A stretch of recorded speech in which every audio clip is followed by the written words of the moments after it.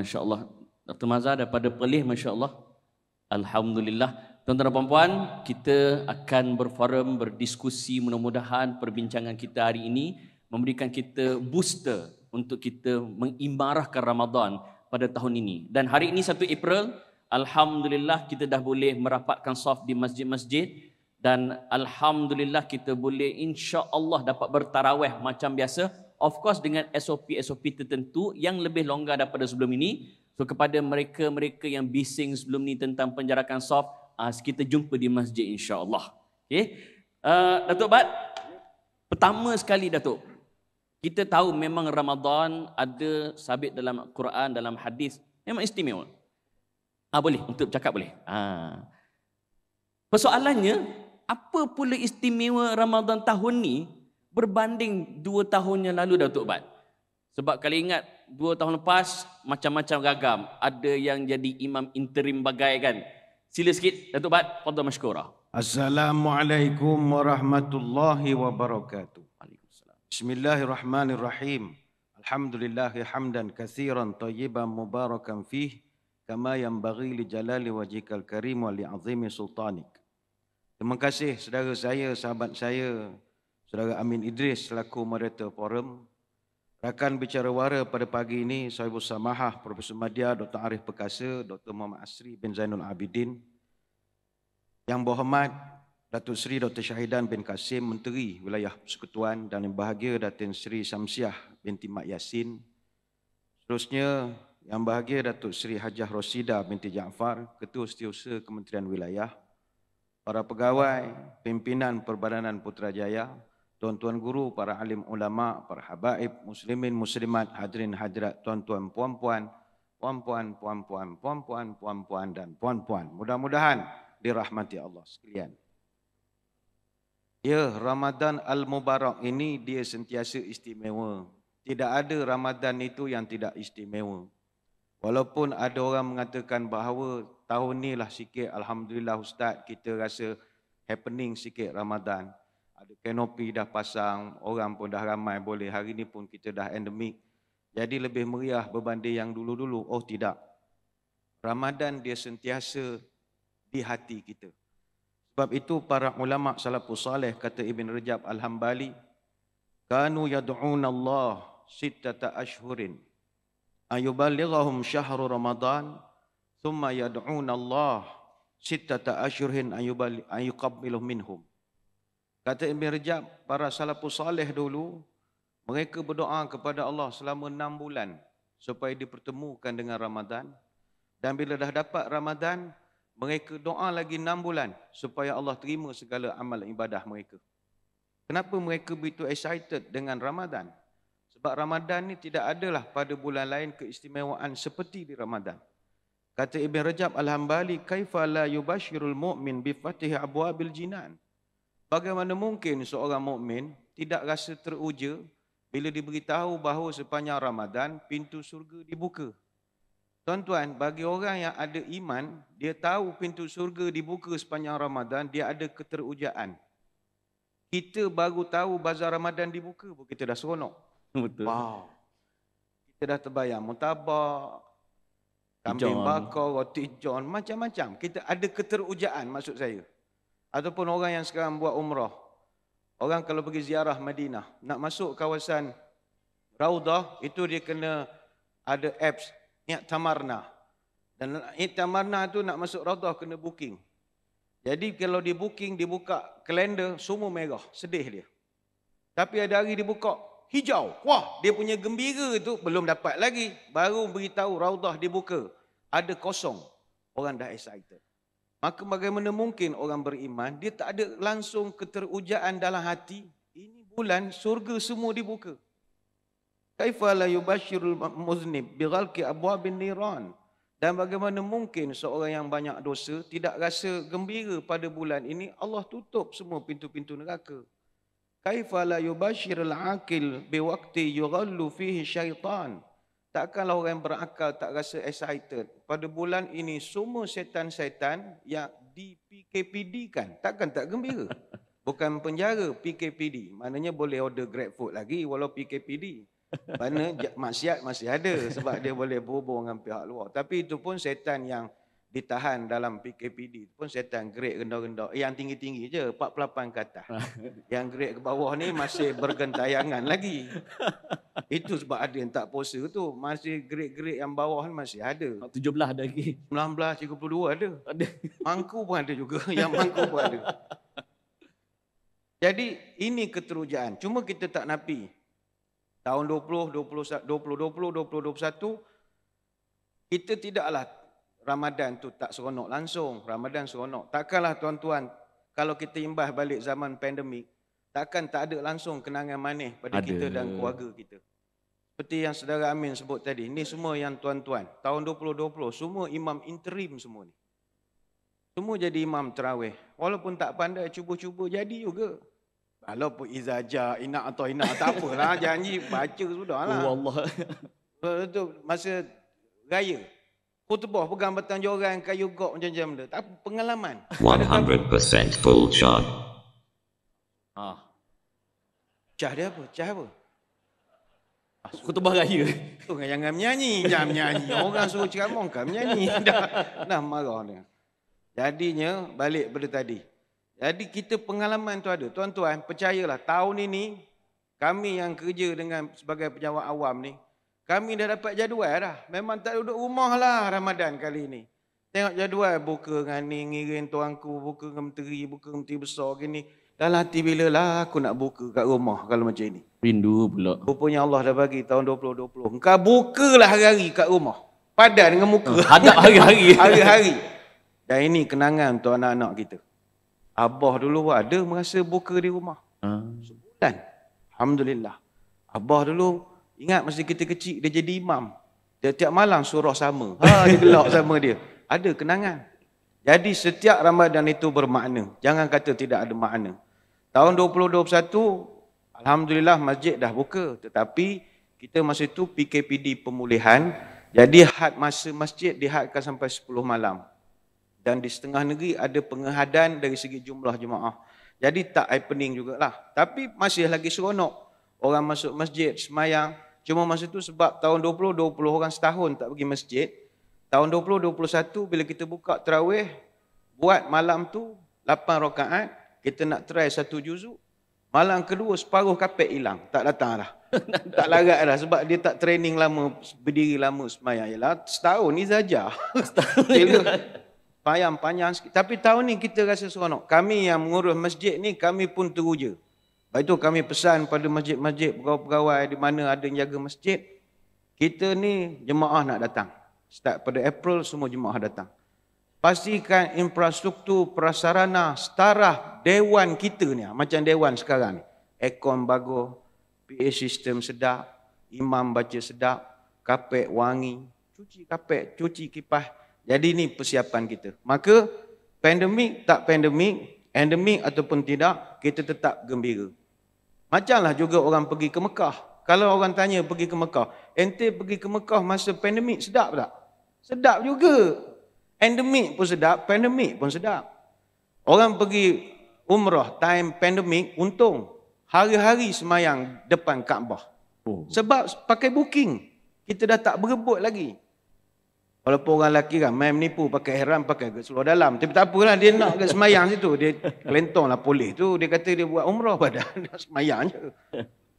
Ataupun orang perempuan siapa nak cek hari-hari semayang depan Kaabah. Raudah. Dulu nak dapat raudah bertumbuk.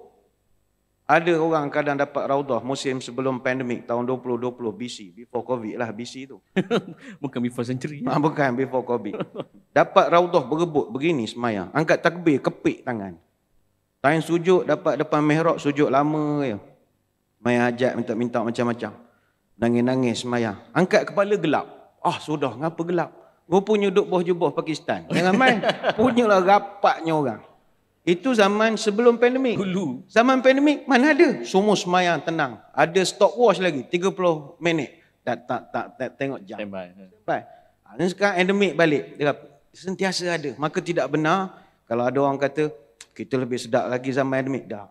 Setiap masa Ada kisah. ada keindahan dia. Alhamdulillah. Ini cara orang beriman berhadapan dengan ujian. Setiap cabaran itu ada tarbiahnya. Datuk, bila uh, Datuk uh, sebut tentang bagaimana istimewanya Ramadan, kita nak mengimbau kembali pada zaman para salafus soleh, zaman Nabi SAW. Bagaimana Nabi dan para sahabat ajma'in menyambut ketibaan Ramadan? Ada tak di sana upacara-upacara khusus ke, amalan-amalan khusus ke? Kita nak ikut jejak langkah Nabi dan para sahabat ajma'in. Silakan Datuk. Assalamualaikum warahmatullahi wabarakatuh. Alhamdulillah wassalatu wassalamu ala Rasulillah wa ba'd. Moderator Fadil Ustaz Badli Shah, Sri Medan bin Qasim dan Sri seluruh didif hormat dan hadirin dan hadirat sekalian. Sebelum uh, saya nak sebut bagaimana Nabi menyambut Ramadan dan salafus salih, kita apabila membaca sesuatu nas kita tidak akan faham melainkan kita kena faham realiti orang di zaman itu. Bagaimana apa yang ada dalam diri mereka. Saya buat contoh untuk diri saya. Saya dulu saya bapa saya sekarang bedridden selepas daripada itu semua tahu kebanyakan orang Malaysia isu tu.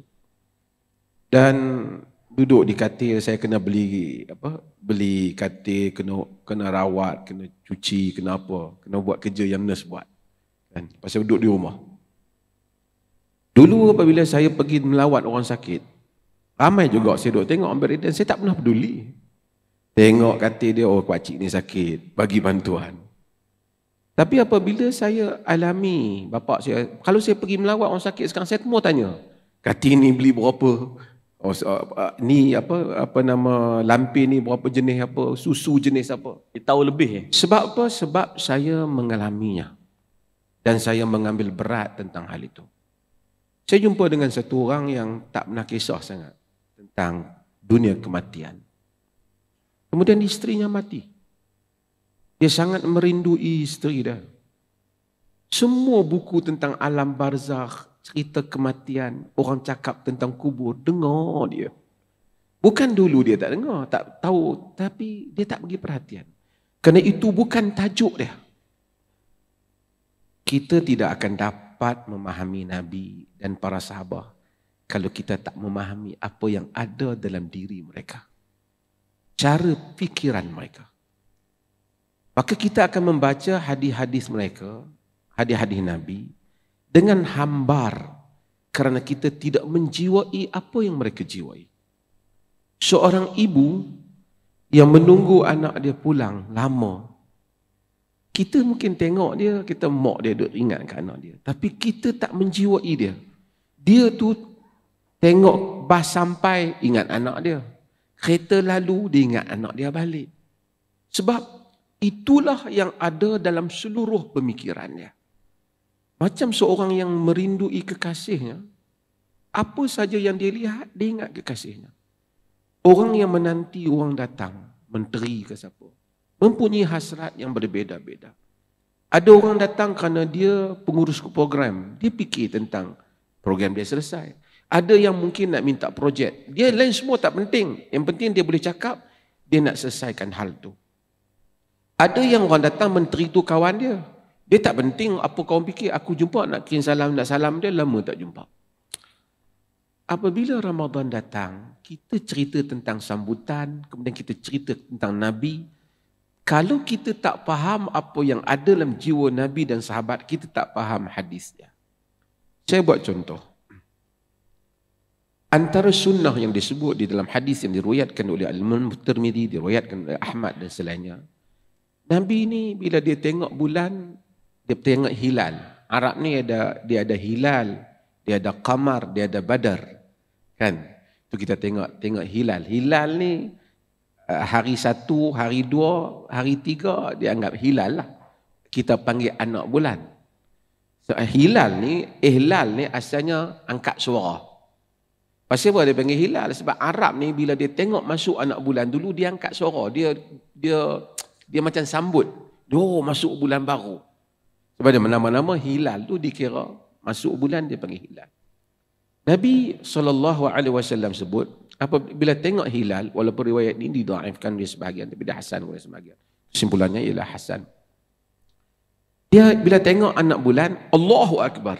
Tadi suruh tengok anak bulan. Allahumma ahilla alaina bil imani bil amni wal iman wa bis salamati wal islam wa bit tawfiqi lima tuhibbu wa tarda rabbuna wa rabb rabbuna wa rabbukallah Nabi kata Allahumma ahil Allahumma ahil Allahumma ahillahu alaina bil amni wal iman Ya Allah, munculkanlah bulan ini kepada kami dengan aman dan iman. Iman ni dia bukan cerita iman, menyanyi lagu iman ataupun berpantun tentang iman. Iman adalah sesuatu yang berada dalam jiwa manusia. Nabi berbila tiga, Nabi kata minta bulan tu datang dengan aman dan iman. Dalam sebahagian riwayat, bil yumni wal iman dalam riwayat Talhah. Iman dengan keamanan, kebahagiaan dan iman. Kerana manusia ni apabila dia muncul, ada orang bila hari-hari muncul, macam Datuk Bat sebut tadi. Ada orang teringat Ramadan, dia teringat nak pergi, oh tahun ni boleh meniaga lebih sikit lah. Saya tak kata salah. Tapi itu fokus dia. Tapi ada orang bila tinggal Ramadan, mudah-mudahan aku dapatlah buat ibadat tahun ni cover balik yang mana kurang. Tuhan ampunkan dosa di mana yang salah. Itu tajuk dia. Tajuk besar dia. Sebab itu Nabi bil amni wal iman wassalamati wal islam dengan keselamatan dan Islam. Pasal itu tajuk mereka. Wa bit taufiqi bima tuhibbu wa tarda, lima tuhibbu wa tarda dan taufiq dengan apa yang kau suka dan engkau redha. Kita selalu ceramah ni, Ah, wabillahi taufiq wal hidayah. Orang yang taufik ni dia lebih hidayah ni kita ada. Datuk Bat cerita tentang fadilat Ramadan. Semua orang tahu. Kita pun tahu. Yang tak puasa pun tahu. Tapi kita, sebab apa kita sembahyang, kita sebut, ihdinas siratul mustaqim. Tunjukkanlah kami jalan yang lurus. Sedangkan kita sembahyang, kita salat. Ihdina tu hidayatkan kami. Kerana tak semua orang yang tahu dia dapat melakukannya. Dia dapat buat apa yang dia tahu. Saya yang ceramah ni pun kadang-kadang pandai ceramah ya lah. Bukan buat pun macam mana yang kita ceramah. Cakap tentang khusyuk, tentang solat. Kita pun kadang-kadang solat teringat itu, teringat yang ini. Maka Nabi minta taufiq lima tuhibbu wa tarda taufik kepada apa yang engkau uh, sayang dan engkau redha kemudian oleh kerana bulan ni orang Arab ni bila dia tengok bulan dia angkat kepala dalam riwayat Ibnu Abi Syaibah Nabi kata idza ra'a hilal fala yarfa fala yarfa ra'sa bila tengok bulan jangan angkat nanti bila tengok bulan anak bulan semua angkat angkat tangan doa doa ke anak bulan Nabi tak bagi kan tu sebab tu dia kata kita hanya dibawa Rabbuna wa Rabbukallah. Cakap kat anak bulan tu. Tuhan kami, Tuhan kamu Allah. Kerana ada orang dia sembah bulan. Ada orang dia sembah matahari. Maka Nabi, keseluruhan yang Nabi fikir apa? Nabi fikir tentang keampunan. Nabi fikir tentang iman. Dia berbeza. Kalau kita dapat menjadikan itu topik kita dalam hidup, kita kita akan hairan. Kalau kita sebut, Nabi sebut, uh, dalam hadis yang diriwayatkan oleh Ibnu Majah dengan sanad yang hasan Nabi menyatakan Inna hadha syahr qad hadarakum wa fihi lailatun khairun min alfi syahr kan? Faman harumaha faman hurimaha hurima al khairu kathir al khairu kullah. Telah datang kepada kamu bulan Ramadan. Padanya ada malam Lailatul Qadar. Lebih baik pada seribu bulan. Siapa yang dihalang Daripada dapat Lailatul Qadar, dia halang daripada kebaikan keseluruhannya. Tak apa. Cerita Lailatul Qadar, semua orang dapat. Kerana semua orang akan lalui malam tu. Bukan nanti nak tunggu nampak pokok tombang ke apa. Siapa yang solat pada malam tu, dia memang dapat Lailatul Qadar. Artinya dia solat Aisyah, dia solat sunat, dia nampak apa ke, dia tak nampak apa ke, Kalau itu malah Lailatul Qadar dia dapat pahala. Tapi saya nak cerita apa? Uh, saudara moderator dan hadirin sekalian. Nabi kata siapa yang Tuhan larang benda halang benda ni dia kehalang kebaikan yang banyak. Kalau saya sebut malam 21 nanti malam Lailatul Qadar atau malam 3, 23 malam Lailatul Qadar. Apa kebanyakan orang fikir? Ada orang fikir pahala tapi ramai orang fikir aku nak doa malam tu. Doa makbul. Supaya doa makbul tu ada hajat nak sekian-sekian. Saya tidak kata salah. Tidaklah kata memang ada disebut tentang malam yang lebih baik pada seribu bulan. Tentu doanya mustajab. Tapi apabila kita semua tahu Aisyah tanya Nabi tentang Lailatul Qadar. Banyak doa orang seperti Aisyah isteri Nabi, isteri Nabi. Bukan saja serve Nabi, tidur dengan Nabi, menggauli Nabi. Apa Nabi kata, ajak doa kepada Aisyah. Allahumma innaka afun tuhibbul afwa fa'fu anni. Ya Allah, engkau pemaaf. Tolong maafkanlah aku. Sukakan kemaafan, maafkanlah aku keseluruhan yang Aisyah tanya Nabi, Nabi tak doa yang itu. Maksudnya Nabi dan seluruh para sahabat pikiran mereka ialah soal keampunan Tuhan. Pikiran mereka. Apabila Abu Bakar tanya Nabi, Ya Rasulullah, hadis ini diriwayatkan oleh Imam Al-Bukhari dalam sahih. Ya Rasulullah, alimni doa ad'u bihi fi salati. Wahai Rasulullah, ajak aku satu doa. Aku nak doa masa aku semayang. Sebagian kata dia nak doa di rumah dia. Yang Nabi nak ajar ni Abu Bakar, yang tanya ni Abu Bakar. Kalau yang tanya tu mungkin mamat tepi jalan saya ke yang banyak dosa ni ataupun sebahagian orang. Tapi yang tanya ni Abu Bakar. Level dia habis di Nabi ni, manusia terbaik ni Abu Bakar. Nabi Nabi lebih tahu. Quran pun sebut dia. Apa Nabi ajak pada Abu Bakar? Nabi ajak. Banyak impian manusia dalam dunia ni. Tapi Nabi ajak. Allahumma inni zalamtu nafsi zalman kathira. Wala yaghfiru zunuba illa anta. فاغفر لي مغفرة من عندك وارحمني إنك أنت الغفور rahim. Allahumma inni ظلمت نفسي zulman كثيرا. Ya Allah, aku telah menzalimkan diri aku dengan kezaliman yang banyak. Wala yaghfiru dhunuba illa anta. Tak adalah yang dapat mengampunkan dosa melainkan engkau.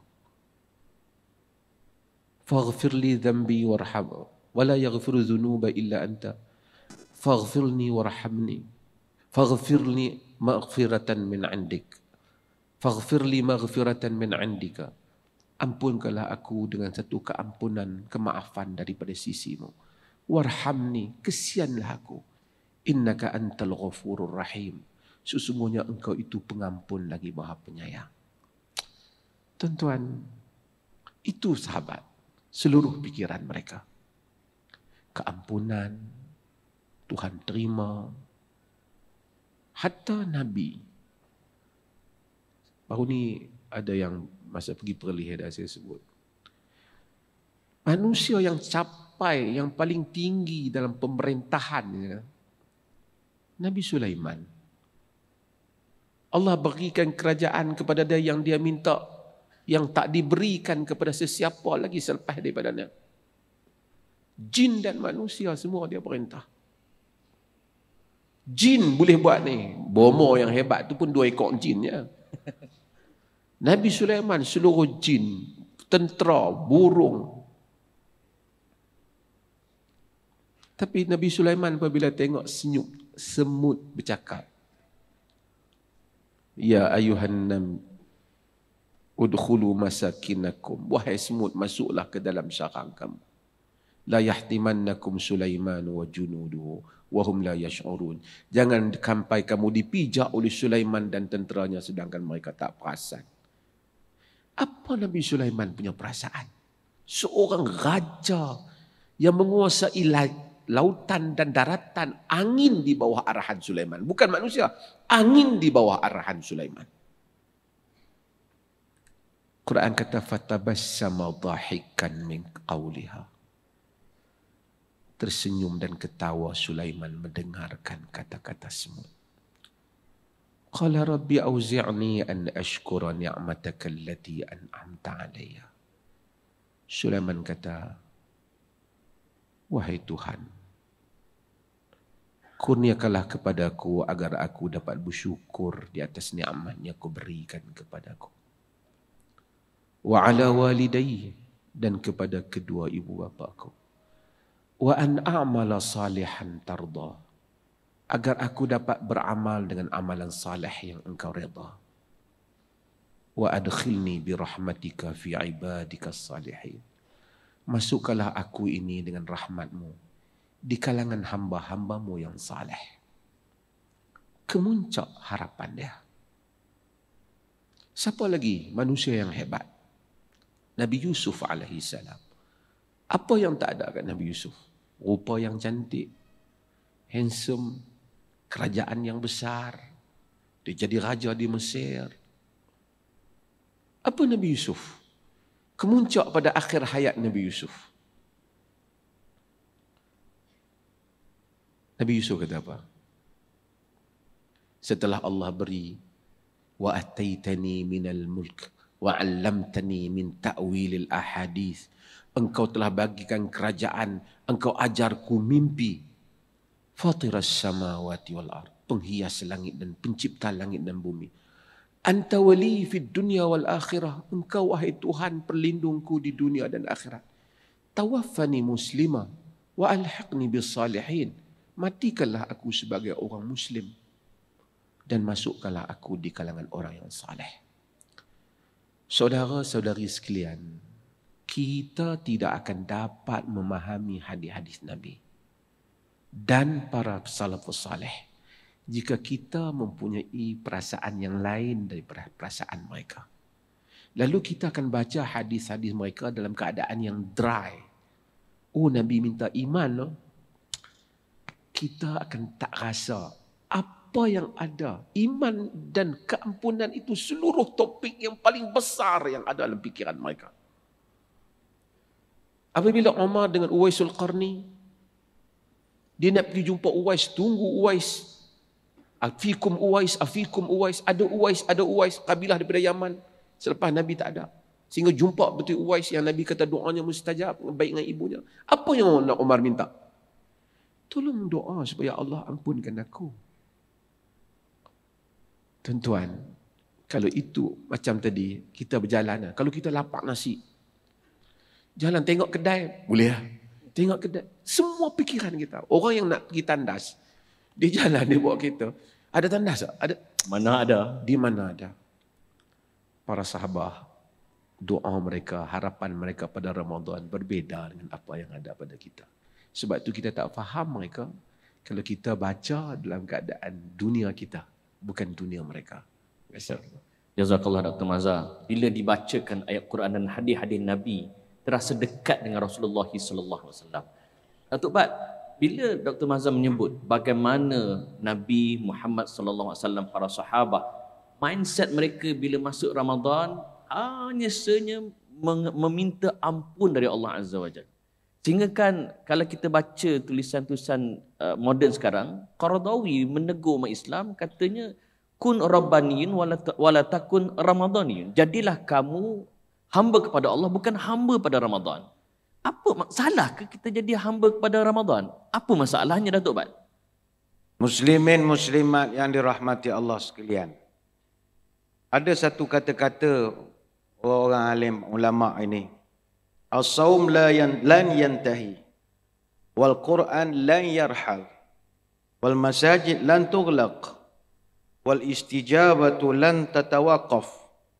Wa ajru lan yanqati' kun rabbaniyan wala takun ramadaniyan.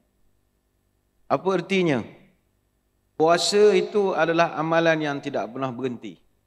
Ramadan saja ada lagi boleh dilakukan pada syawalnya dan bulan-bulan yang ditentukan.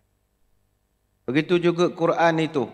Sentiasa boleh dibaca lagi, bukan hanya pada Ramadan. Masjid-masjid juga dibuka. Raya pertama pun kita orang buka. Tak ada tutup masjid. Datang. Sama juga istijabah. Lan tatawakaf. Mustajab doa tidak akan berhenti. Bukan Ramadan saja. Dan pahala juga takkan tanah terputus. Maka wahai manusia, kun rabbaniyan wala takun ramadaniyan. Jadilah engkau hamba kepada Tuhan, jangan jadi hamba hanya di bulan Ramadan. Sebab itu saudara-saudari sekalian, fenomena hanya memfokuskan ibadah pada bulan-bulan yang khusus bukan hanya terjadi di bulan Ramadan, tapi juga terjadi pada bulan-bulan yang lain. Ada seorang ulama sufi yang terkenal, Syekh Abu Bakar Ash-Shibli. Bagaimana yang dinukilkan kisah ini oleh Ibn Rajab Al-Hambali. Pernah satu ketika orang tanya kepada Abu Bakar Ash-Shibli, Wahai Tuan Guru, mana lebih utama? Bulan Rajab ke bulan Syaban? Dua-dua bulan ni mana yang paling best sekali dari segi ibadah? Apakah jawab Ash-Shibli? Kun Rabbaniyan wala takun Sya'baniyan. Jadilah kamu hamba kepada Tuhan, Jangan jadi hamba hanya di bulan Syaban. Sebab itu ada seorang bertanya kepada ulama, wahai tuan guru, apa pandangan tuan terhadap golongan yang hanya bersemangat untuk merancakkan ibadah hanya di bulan Ramadan sahaja? Maka jawab dia, bi'sal qaum alladhi la ya'rifuna Allah illa fi Ramadan. Seburuk-buruk orang adalah orang yang hanya kenal Tuhannya di bulan Ramadan sahaja. Sebab itu saudara-saudari sekalian, kita hendaklah mengheret kerancakan pesta ibadah kita melepasi daripada Ramadan. Jangan hanya Ramadan saja. Dan itulah dinamakan sebagai istiqamah. Macam di peringkat masjid, kita selalu setiap kali masuk syawal kami kesedihan. Raya pertama, subuh dah tak ada orang dah. Orang dah bangun lambat semua dah. Semayang raya kan penuh balik lah penuh. Lepas tu hilang. Hilang kat seminggu. Sampai ada setengah masjid terpaksa buat banner besar taruh depan pagar. Mencari orang hilang. hilang uh, waktu Zuhur, Asar, Maghrib, Subuh, Isyak. Kali terakhir ditemui Ramadan 1443. Tak jumpa terus. Jemaah regular kami pun yang tiap-tiap malam Ramadan soh pertama pun hilang juga. Sebab itu istiqamah benda susah. Istiqamah susah sebab itu kata ulama ada satu ayat yang turun pada Nabi menyebabkan rambut Nabi beruban, fastaqim, beruban rambut Nabi. Istiqamah susah. Dia yang senang istirahat. Itu senang. Istiqamah susah. Konsisten. Sebab itu tanda orang punya amalan ni ada kebaikan adalah istiqamah. Macam contoh, orang yang habis Ramadan. Tanda dia nak tahu Ramadan tu berbekas pada diri dia dan ada harga nilai pada dia dan di sisi Allah. Dia kena tengok selepas Ramadan dia jadi apa? What's next? Sebab itu, kalau orang tu habis daripada Ramadan, dia boleh sambung pula puasa enam. Oh ini first class punya orang. Allah. Artinya dia ada kesinambungan. Ada orang habis je raya, habis puasa, esok raya. Yahoo! Merdeka! Dia, dia lupa perkataan puasa maksudnya apa? Puasa tu maknanya puasa. Mana dia tak kahwin ramai. Puasa saja. Puasa saja. Dia puas satu, tak banyak-banyak. Qana'ah kalau bahasa oh. orang kita. Eh. Qana'ah. Merasa cukup apa yang ada. Puasa tu nama puasa. Marah pula orang tu. Jadinya, dia orang yang istiqamah ini, dia ada kesinambungan. Jadi tuan-tuan tahun ni saya menyuruh diri saya dan tuan-tuan puan-puan habis Ramadan puasa lah enam. Tua dah kita ni sampai bila nak nunggu tak puasa-puasa dah. Dulu muda malas, sekarang ni kena rajin lah. Puasa enam. Sebab itu orang balik pada umrah, balik pada haji. Macam mana nak tahu dia punya amalan tu ada kebaikan? Senang saja tengok istiqamah ataupun tidak. Kalau masa di Mekah, hari-hari pergi Masjidil Haram. Balik ke Malaysia, haram pergi masjid. Macam mana nak kata? tak konsisten. Artinya yeah. dia hanya jadi hamba Allah di Mekah saja. Nah, ini kita nak beri pendidikan pada masyarakat. Terutama sekarang ni ramai orang dia hanya ligat beribadah di bulan Ramadan dan itu bagus. Kita ucapkan terima kasihlah sudi juga menjadi orang yang menghormati Ramadan. Tapi tuan-tuan puan-puan, kita bukan hamba Ramadan, tapi kita hamba Allah. Bulan Ramadan jangan hanya taat pada puasa, makan ditahan, minum ditahan, sedangkan aurat kita tidak ditahan. Taat pada puasa, tidak makan, tidak minum, tapi pakaianmu masih serba minimum. Bulan Ramadan, jangan hanya taat pada zakat, sedang dirimu masih mendedahkan aurat. Taat pada puasa, lapar dan haus yang kita dapat. Kemuliaan sukar nak didapat kerana kita belum bersedia menutup aurat. Bulan Ramadan, jadikan taatmu kepada Allah. Aurat dihijab sebelum diri kita diazab. Taat pada puasa tidak menjamin taatnya kita kepada Allah.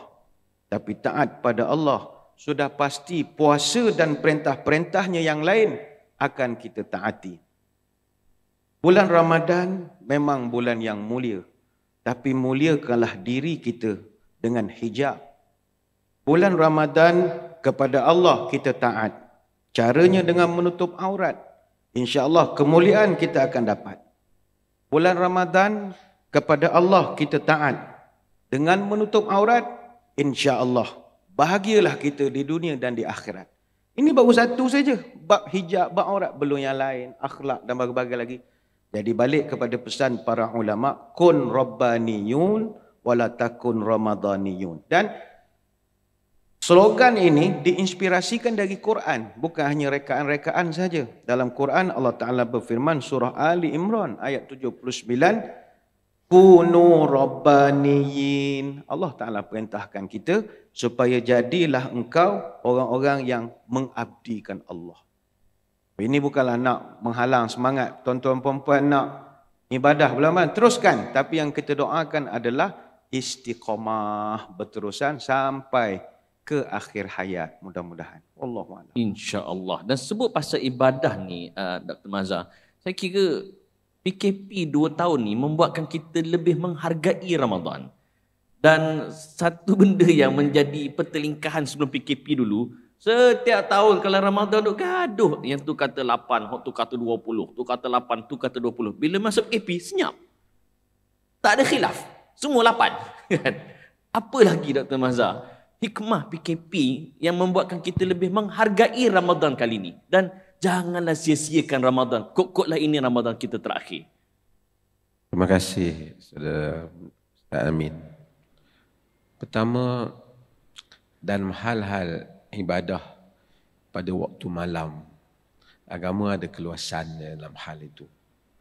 Cumanya kita kadang-kadang tak luas. Tak luas ni dua lah. Orang yang dia nak solat 20, dia abang ada solat 8 tak boleh. Ada orang yang dia solat 8, dia kata solat 20 tak boleh. Jadi ini kedua-duanya ni kita tidak luas dalam hal ni. Benar tapi masa PKP tu oleh kerana semua keadaan ramai kata solat 8, ramai solat sebut solat 8 lah. Saya bukan nak kata 8 tu pun 20. Dalam mazhab Syafi'i, uh, Hanbali dan apa nama Abu Hanifah juga mereka sebut tentang 20 ini. Dan juga tapi dalam mazhab Malik dia sebut lebih lah sampai 36. Uh, ulama-ulama ada perbezaan pendapat dalam hal ini. Saya sebut bukan nak ulang lah tapi sebutlah supaya kita ada keluasan dalam hal ni. Saya nak sebut keluasan. Nabi SAW, orang tanya Aisyah. Isu yang timbul kerana orang tanya Aisyah. Ya, ya, uh, ya Aisyah, kaifa kanat salatu Rasulillah fi Ramadan? Dalam hadis yang diriwayatkan oleh Imam Al-Bukhari. Wahai Aisyah, bagaimana semayang Nabi pada bulan Ramadan? Cuma Aisyah dia jawab, Aisyah ni isteri Nabi, dia jawab apa yang dia tengok Nabi. Maka na yazidu fi Ramadan wala fi ghairihi ala 11 raka'ah. Dia kata Nabi tu tak pernah lebih sama ada pada Ramadan ataupun lain Ramadan lebih daripada 11 rakaat. Tapi dia sebut fala tas'al an husnihin wa tulihin. Jangan ditanyalah tentang elok dan panjangnya salat itu. Maka ada ada golongan yang mereka memang ambil sebelah sini. Ini ada aliran. Dan kita pun dan tokoh-tokoh yang besar juga. Ha, sebab tu siapa yang nak sembahyang dua sebelah, kalau itu pegangan dia sebelah tak apalah dia yang penting dia sembahyang lah. Kan? Yang kita pula tak payahlah kata tak boleh. Yang kata boleh sampai 20 di samping mereka istidlalkan dengan apa yang dibuat oleh Omar walaupun hadis Yazid bin Khasifah itu ada perbincangan tentang pecangahan riwayat tetapi saya nak sebut ialah Nabi kata salatul lail masna masna. Semayang malam dua-dua. Yang ini Nabi kata, "Idza khashiya ahadukumul subh falyusalli raka'atain tutiru lahu ma qad salla." Semayang malam dua-dua. Jika kamu bimbang masuk subuh, semayang satu rakaat untuk witir apa yang sebelum daripadanya. Jadi bila Nabi sebut dua-dua, dia tak sebutlah pula berapa dua-dua tu. Jadi maka ada yang sampai 20, ada yang sampai 30 lebih. Yang penting saya fikir kita tak payah balah dalam masalah ni kerana kedua-duanya telah mengemukakan alasan dan dalil mereka dan praktis yang dibuat oleh ummah yang besar dalam sejarah. Di Perlis, kalau tanya, orang tanya Perlis macam mana? Di Perlis memang masjid-masjid semayang lapan. Tapi fatwa kita menyebut siapa yang nak sembahyang 20 dia boleh kerana kita mungkin melihat di sudut pertama itu kaul yang disebut sejak dulu lama di dan kedua kita tak mau dia pulun sampai 20 tu punya laju. Pasal kita nak utamakan khatam Quran supaya dia baca dengan elok dan seumpamanya. Kemudian kita mengambil kira juga pegawai kerajaan yang kerja, umat yang dalam susah kadang-kadang 20. Kalau panjang, dia tak upaya. Yang habak kata 20 bertengkak naik orang tengkok ni pun dia pun semayang 8 juga. kadang-kadang lepas tu dia pun keluar juga. Cuma dia habak orang yang semayang 8 tak Dia dulu keluar. Dia dulu keluar. Saya kata macam ni, siapa nak semayang 20, semayang 20. Siapa yang nak semayang 8, dia solatlah 8. Yang masalahnya kalau kita keluarkan perkeliling ke, kita kata siapa semayang 20 tak sah ataupun semayang semayang 8 tak sah. Macam tu jadi kalut lah. Dan semayang kita yang semayang 8 dengan imam pun hakikatnya lebih juga. Apabila kita balik nanti, pukul 3 nanti kita bangun solat lagi, banyak lagi rakaat yang kita solat. Kan? Melebihi lah. Kerana solat kita mungkin tulihin wa husnihin tak macam Uh, husnihin wa tulihin tak seperti salat Nabi sallallahu alaihi wasallam.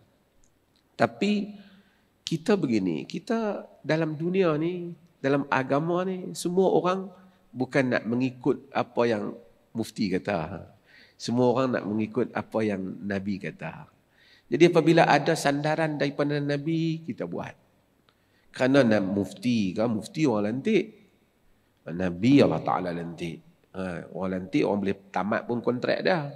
Kan? Pilih orang lain siapa yang orang minat. Nabi Allah Taala lantik. Jadi kita ikut yang Nabi. Jadi apabila Nabi ada keluasan, kita bagi keluasan. Jadi sebab itu isu ni alhamdulillah kadang-kadang isu 8 20 ni tak timbul sangat pun. Penceramah yang kadang-kadang berbakar semangat lebih. Saya dok tengok tak ada pun kat bawah pun tak kisah pun yang tengok yang kata semayang tak sah keluar TV mestilah 20 apa. Masjid negeri-negeri yang kata macam tu pun saya tengok tinggal. Habis 8 tinggal juga. Sikit juga. Lebihlah baik dia solat daripada kita kata tak sah kan? Kerana solat uh, tarawih tu sendiri Nabi SAW bukan ada khasais yang begitu banyak hadis-hadis yang dapat sekian-sekian ya, melainkan beberapa riwayat. Itu yang mana menghidupkan man qama ramadan imanan wahtisaban ghufira lahu ma taqaddam min zambihi. Inilah tajuk utama dia siapa yang menghidupkan ramadan malam ramadan iman dan mengharapkan pahala Allah ampun dosanya. Macam saya sebut tadi kita ni kita tak minat kalau orang kata apa fadilat semayang ni ustaz. Tuhan ampun dosa. Oh itu aja ke? Kita rasa tak ada apa-apa. Apa apa fadilat puasa Ramadan? Eh? Kelebihan dia. Nabi kata man sama Ramadan imanan wa ihtisaba ghufira lahu ma taqaddama min dhanbi. Siapa yang puasa Ramadan dengan iman dan mengharapkan pahala, Allah ampun dosanya yang sebelum. Kita not very interesting. Apa dia fadilat dia? Dapat keampunan.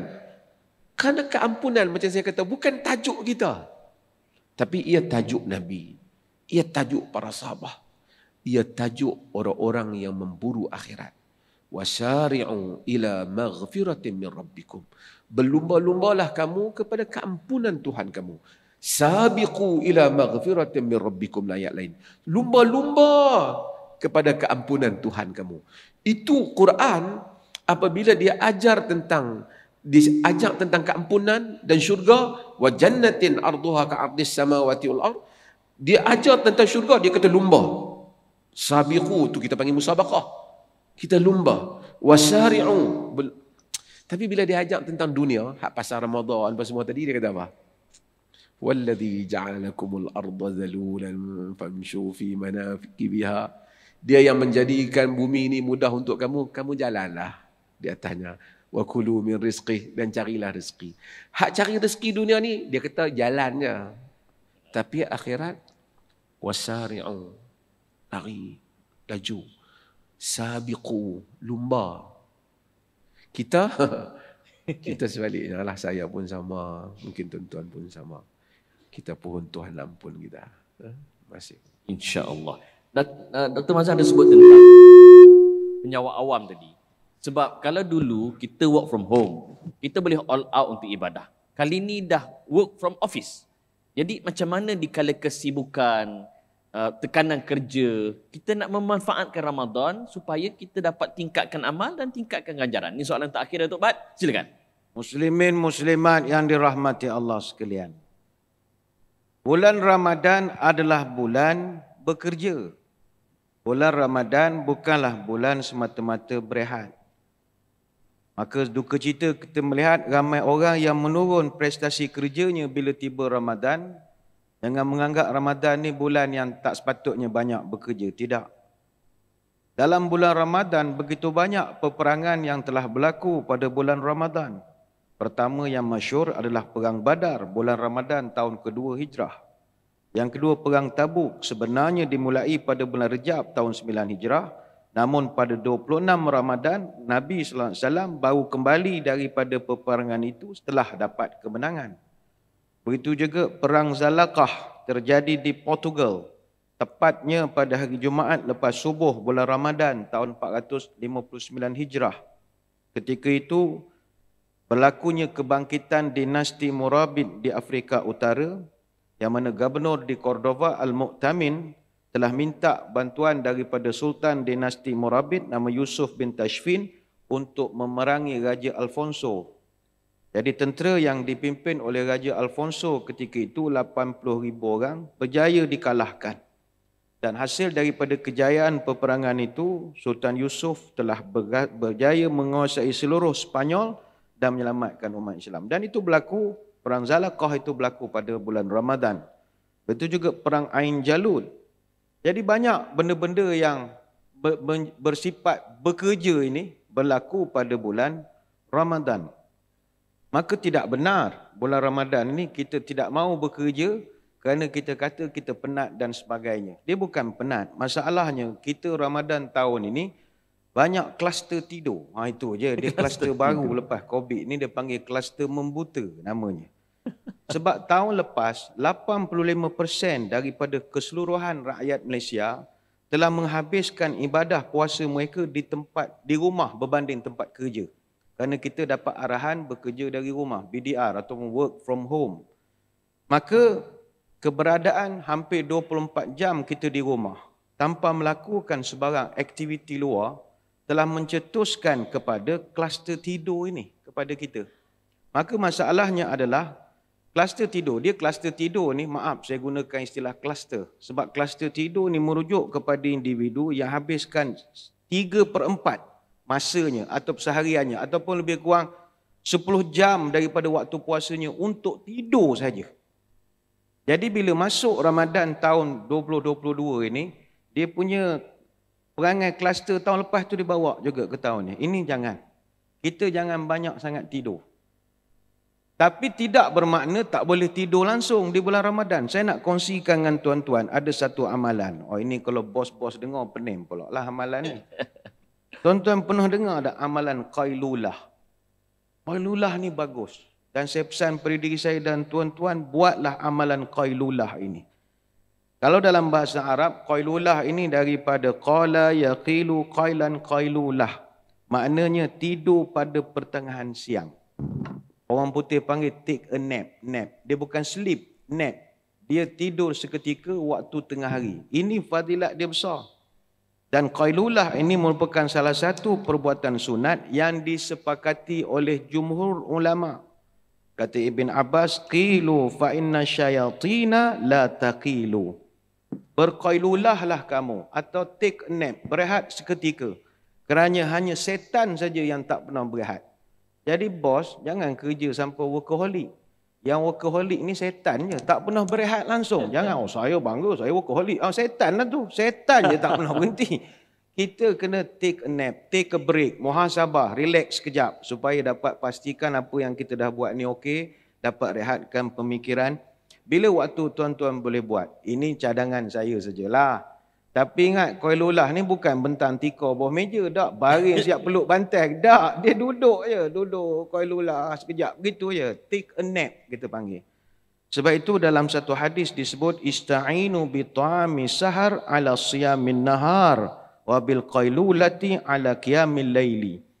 Kuatkan puasamu di waktu siang dengan bersahur dan kuatkan bangun malam dengan qailulah. Jadi kita niat take a nap itu untuk niat nak semayang malam. Duduk sekejap dekat kursi tuan-tuan di pejabat. Duduk sekejap. Baring. Bukan baring pula, duduk atas kursi pun tak apa. Macam tuan-tuan tengah dengar forum ni. Kau ilulah pun tak apa duduk nyandor. Benda pakai emas kan, tarik atas sikit. Orang bukan nampak. Menguak pun kami tak perasan. Rupa menguak dah lambat habis forum ni. Take a nap. Dan ingat, tidur bukan satu jenayah kepada bos-bos ni kena ingat ya.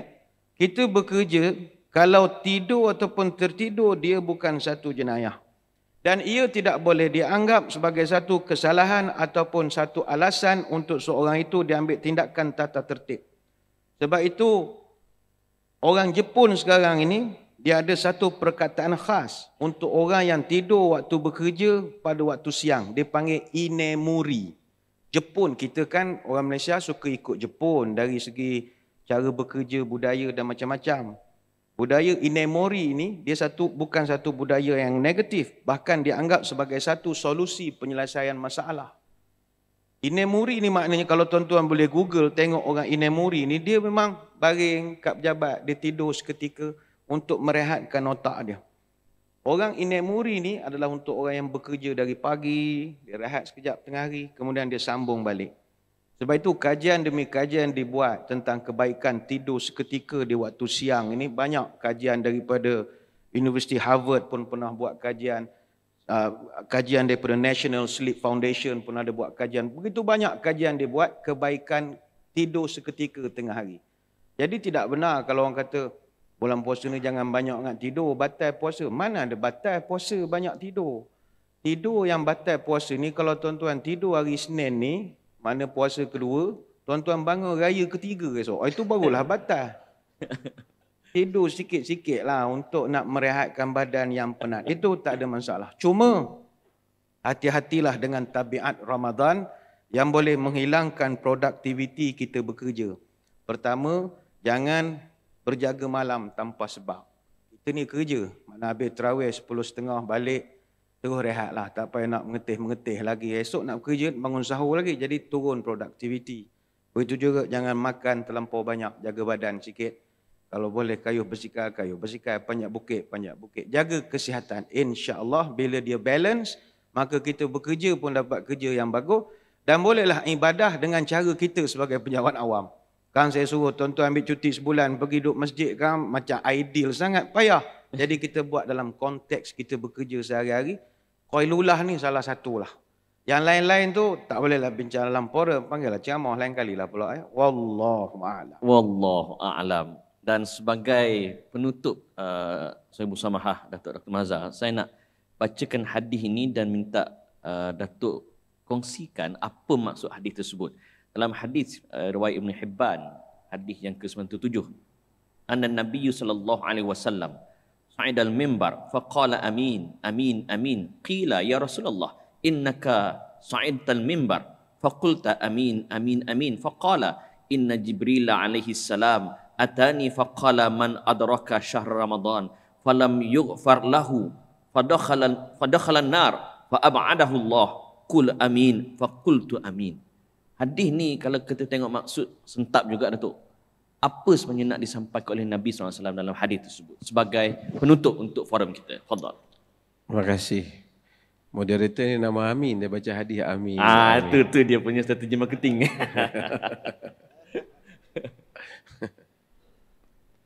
Hadis ni uh, Imam Ibn Hibban uh, riwayatkan dalam Sahih Ibn Hibban. Diriwayatkan juga oleh At-Tabarani. Uh, dalam riwayat uh, Imam Al-Bukhari dalam Al-Adab Al-Mufrad. Imam Bukhari ni kalau kita baca sebab tu bila siapa yang riwayat Sahih Bukhari uh, siapa yang riwayat riwayat Bukhari kalau kita rawahul Bukhari fil fil mufrad maksudnya dia bagi tahu kita itu bukan dalam Sahih Bukhari. Kalau dalam Sahih Bukhari itu semuanya sahih. Dalam ada mufrad dia tidak dengan syarat Sahih Bukhari. Sebab tu dia akan sebut fil mufrad ataupun yang fil adabul mufrad. Ini diriwayatkan di dalam adabul mufrad. Hadis ini disahihkan di Ibn Hibban, dihasankan oleh sebagian Sakhawi. Tapi dia dengan ada beberapa lafaz. Dalam sebahagian tadi kami macam sa'idah. Faedah. Di dalam riwayat ada mufrad um, raqiyah. Uh, raqiya Rasulullah sallallahu alaihi wasallam al-mimbar falamma uh, uh, uh, ala darajatil ula qala amin kan waktu falamma fi thaniya qala amin. Dalam riwayat tadi dalam riwayat Al- Al-Bukhari dalam ni dan selainnya dia kata syaqiyun abd celakalah hamba. Orang tanya Nabi bila Nabi tuan-tuan dah dengar hadis ni saya rasa.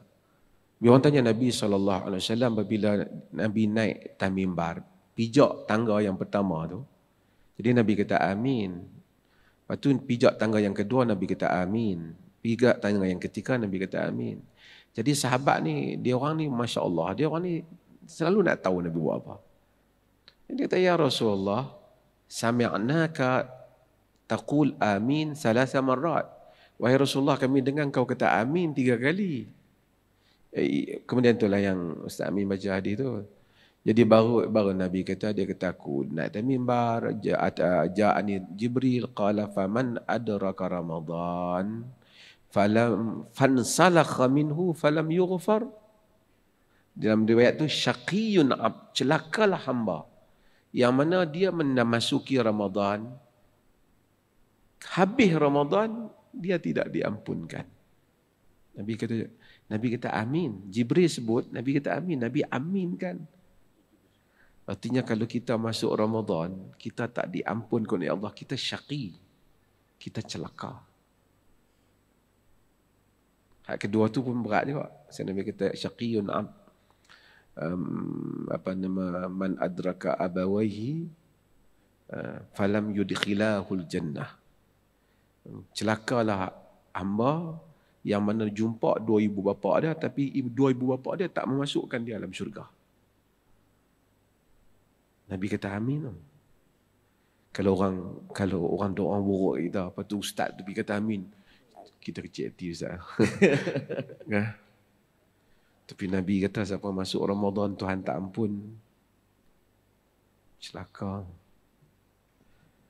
Artinya takut. Begitu besar Allah Ta'ala ni. Allah ni macam Allah ni Masya Allah. Dia nak bagi Allah mau kita semua diampunkan. Semua jalan. Ambil uduk dapat keampunan. Pergi jalan ke masjid dapat keampunan. Sedekah dapat keampunan. Semayang Jumaat dengan Jumaat dapat keampunan. Ramadan dengan Ramadan keampunan. Puasa Ramadan dapat keampunan. Mansama Ramadan ni siapa yang puasa Ramadan. Tiba-tiba orang ni tak dapat keampunan. Na'udzubillah. Tuan-tuan dan hadirin dan hadirat sekalian. Semua dalam hidup ni kita boleh hilang. Kita boleh hilang apa saja. Tapi kita tidak boleh hilang keampunan Tuhan. Apabila kita mati, orang bawa kita ke kubur. Tak ada lagi kita bertanya, dia petak kat mana kereta aku, geran tanah aku. Dia petak tak mana semua harta aku. Kita tak tanya. Kita hanya tanya, ada tak keampunan Allah untuk aku? Itu saja. Pantas masa berlari kita terlupa tentang diri kita sendiri. Selalu kita sangka lama kita di sini.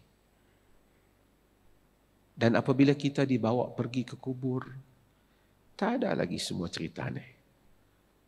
Tak ada lagi. Kalau ada sepatah subhanallah yang kita sebut, mudah-mudahan kita boleh bawa. Sepatah astaghfirullah kita mencari-carinya. Kalau semua kita tak dapat bawa, tapi kita bawa keampunan Tuhan. Ia besar untuk kita. Tentuan kita duduk di pejabat. Member sebelah kita tu marah kat kita. Kita main pejabat pun tak seronok. Tengok muka dia tak seronok. Dia tengok muka kita tu. Kalau bos marah kat kita, lagi serabut. Kalau boleh aku tukar pejabat. Kalau semua orang keliling tu marah kita, kita tak happy ya hidup ni. Kalau Allah marah kat kita di atas dunia ni, kita tidak akan bahagia. Walaupun semua kita ada. Tuan-tuan lihat kesan apabila Allah murka pada manusia ini. Dia mungkin, dia, dia sebagian orang dia tak kisah, tapi dia sedang hidup dalam keparahan kemarahan Tuhan harta ada, tempat ada, kedudukan ada, duit banyak. Bahagia tidak ada. Tamak ninah tidak ada. Sakinah tidak ada. Tercari-cari dia pergi cuti, pergi panjat bukit, pergi masuk kampung, pergi tengok hutan. Tertanya-tanya dia tentang kebahagiaan. Tapi kalau Allah redha, ulama yang dipenjarakan di dalam penjara, dia menikmati kebahagiaan. Nabi Yusuf alaihi salam yang duduk dalam penjara, dia menikmati kebahagiaan. Orang yang dimusuhi oleh semua orang dalam dunia ini, kalau Allah redha kepada dia, dia menikmati kebahagiaan. Hadirin dan hadirat, saya pesan kat diri saya dan tuan-tuan juga. Kita ni semua kena jadikan tajuk keampunan Tuhan ini paling besar. Maka Nabi SAW menyuruh kita mengulangi istighfar. Kenapa Nabi suruh kita ulangi istighfar? Kerana dengan mengulangi ucapan, lagi banyak kita ulang, lagi dalam rasanya di dalam diri kita. Bukan semua orang yang sama kalau dia minta maaf kita. Minta maaf lah. Kita rayakan orang Melayu adat minta maaf. Minta maaf lah. Tapi ada orang yang dia bersalah dengan kita ataupun kita bersalah dengan dia ataupun ibu kita kita pegang tangan dia, kita benar-benar minta maaf. Syekh ana minta maaf ke enta. Betul-betul je. Sehingga hal itu terasa dalam diri kita. Berapa kali kita istighfar kepada Allah dengan betul-betul kita minta maaf kepada Allah. Mohon kepada Allah. Tapi oleh kerana manusia ini halu' kelang kabut, gopoh dengan hidup ni. Nabi suruh kita ulang istighfar. Lagi banyak istighfar lebih baik. Kata Syekhul Islam Ibn Taimiyah rahimahullah, kadang-kadang aku ulang istighfar seribu kali sehari. Sehingga Allah membukakan untuk aku apa yang dia tak buka. So manusia ni astagfirullahaladzim. Astagfirullahaladzim. Bukan duk pegang, duk tunjuk kau hantar hari ni aku tujuh ratus lah. Eh, kata Imam Ibn, Ibn Al-Jawzi, talbis iblis menzahirkan amalan. Tapi hati yang sentiasa minta maaf. Sebab tu kadang-kadang saya rasa orang di jalanan ni, yang di jalanan itu, mungkin jauh lebih baik daripada orang yang di atas pentas macam macam saya lah. Kan? Cakap pandai orang bagi, tiket orang bagi, hotel orang bagi, mai ceramah. Ada orang mai, dia tak ada apa. Dia memang cari keampunan Tuhan semata-mata. Sebab itu hidup ni, Allah berikan ruang yang maha adil kepada manusia ni. Kita mencari keampunan dia. Untuk dapat keampunan dia, dia tak pernah tanya. Ni anak penzina ke? Anak orang ni, ni pernah zina ke? Ini mufti ke? Ini orang biasa ke? Ini ustaz syekh ke? Ini menteri ke? Sama di sisi Allah. Mungkin yang duduk di bawah itu, yang kata astagfirullah, lebih Allah sayang daripada yang duduk di atas semua dalam perjalanan hidup yang mata'un ghurur, dunia yang menipu ini. Orang tu jadi mufti, ada jadi menteri, ada jadi raja, ada jadi sultan. Tapi di sisi Tuhan, kemuliaannya ialah pada orang yang mendapat keampunannya. Yang atas belum tentu mendapat keampunan. Maka sebesar-besar kedudukan seperti Nabi Sulaiman, Nabi Yusuf, sebesar-besar seperti Abu Bakar dengan kemuliaannya, setinggi isteri Nabi seperti Aisyah, kata Nabi kalau jumpa Lailatul Qadar Allahumma innaka afuun tuhibbul afwa fa'fu anni ya Allah engkau itu maha pengampun dan sukakan keampunan kemaafan maafkanlah aku kalau kita masuk Ramadan Tuhan tak maafkan kita syaqi celaka Nabi kata Na'udzubillah min zalik. Terima kasih. Telah jemput saya minta maaf di atas kalau pencapat penyampaian yang tak seberapa ni. Sekian wassalamualaikum warahmatullahi wabarakatuh. Waalaikumsalam warahmatullahi wabarakatuh. Tuan-tuan dan puan-puan, kita berikan tumpukan kepada kedua-dua panel kita pada petang ini. Pagi ini, petang pula dah. Maka dengan ini, tuan-tuan dan puan-puan, saya serahkan kepada pengusi majlis dan saya sudahi dengan hadis Nabi sallallahu alaihi wasallam Nabi Muhammad SAW bersabda Man soma Ramadan imanan wahtisaban ghufir lahu ma taqaddama min dhanbi. Barang siapa yang berpuasa dalam bulan Ramadan dengan keimanan dan menghitung ganjaran Allah Azza wa Jal, dia ampunkan dosa. Kita betulkan alignment kita masuk Ramadan, kita minta pengampunan daripada Allah Azza wa Jalla. Saya serahkan kembali kepada pengurusi majlis.